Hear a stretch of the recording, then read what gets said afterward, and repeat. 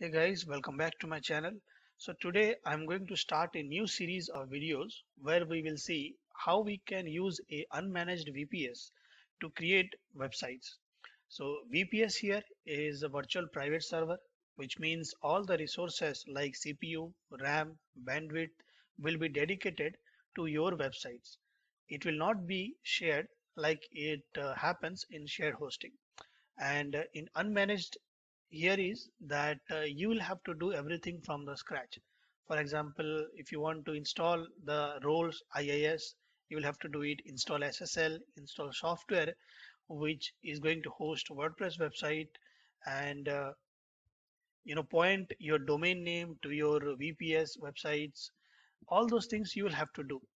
Now, if you want to learn all of those things, then this video will be helpful to you. Now, in other hand, you will also get an option called managed VPS. So in managed VPS, most of the things will be done by your hosting provider. You will just get a GUI console like cPanel or Plesk support and you'll just have to log in and most of the stuff you can do it just by clicking some options. In the description, I will give you the link for both unmanaged VPS and managed VPS. So whichever your preference is, you can uh, go and you can take a service from them. Now, in this video, which is the first video of this series, we will see how you can uh, buy a unmanaged VPS and connect to it. So let's start. Before proceeding further, don't forget to subscribe to the channel so that uh, you'll get notification about all the videos that I'm going to upload here. So I've done some of the research and most of the VPS is basically costly. So I have uh, got a VPS provider that is called uh, PyVPS, which is a little bit uh, cheap and it will be best for hosting the websites as well. So what you have to do, you have to open a new tab. You have to type uh, techieblogging.com and uh, slash PyVPS. So don't worry, I will give this link in the description.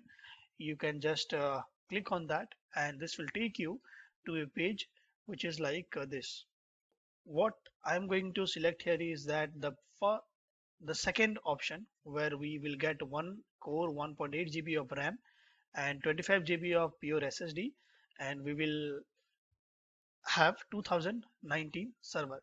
So just click on order now and I will select the second option here order now and now it will ask us for the operating system. So here I will click on Windows Server 2019 standard.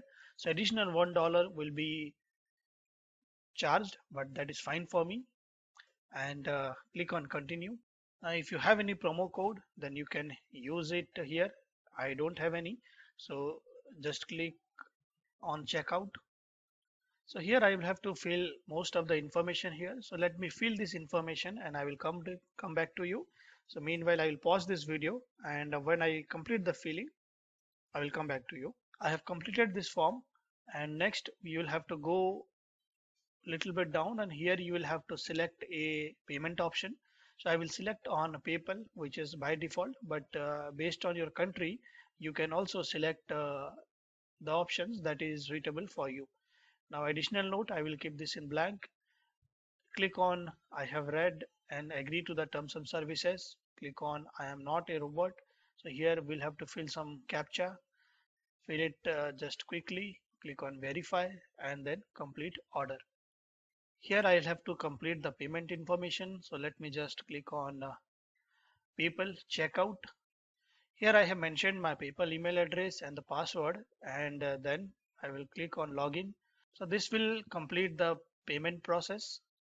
Now click on pay now and the payment process is completed. I will just click on return to merchant. Here I'll have to log in so I will put my email address and the password. Click on I'm not Robert.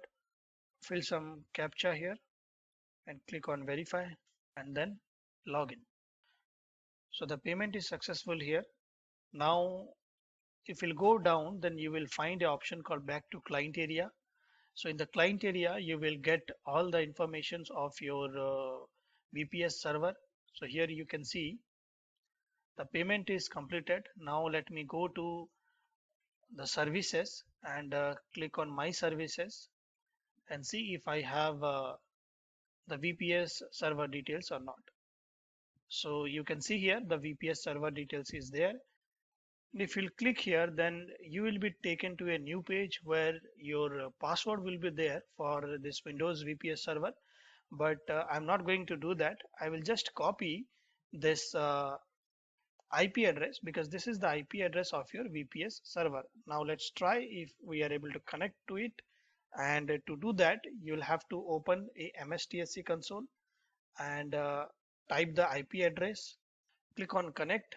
So don't worry if you are not able to see this because sometime it takes 15 to 20 minutes for the server to be ready. And uh, if you're not able to see this, then uh, wait for 15 minutes and then try it. Now it is asking me username and password. So let me enter it and click on OK. Click yes.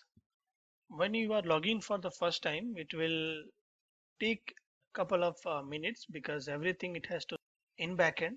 Use it took me around you know five to six minutes, and uh, this is the desktop uh, version that I am able to see. And uh, now let's see what is the operating system we have. So for that, just type here cmd is the command prompt for any Windows server. Click on the command prompt and let's type uh, system info. So this will basically show me all the information about uh, this system. Let me maximize it. So if you go on top, then you will be able to see the OS version that is uh, Microsoft Windows Server 2019. So that is what I wanted to confirm here. What's the operating system? This is the process to get a VPS server. So this was the first video. So we will stop at this point of time. But in the next video, we will see how you can uh, install a role called IIS. So that is basically will help you to host uh, websites in a Windows uh, server. So once again, thank you for watching and don't forget to subscribe and hit the bell icon so that you will get notification about my new video from my channel.